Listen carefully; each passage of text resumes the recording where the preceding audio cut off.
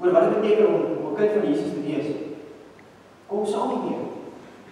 Nou bynaam is iemand wat gekies is deur die Here. Dis 'n belangrike Tweede bynaam wat ons gelees het van is Baie welkom ook vir die van julle wat inskakel op Radio 107 FM. Daar waar jy ook al is, miskien Taniko of die huisies ernster. As daar besoekers is, baie welkom saam met medegelowiges. En as daar nuwe intrekkers is, ons sien julle later daar by die braai, so 11:00. Ons herinner julle sommer nou al daaraan.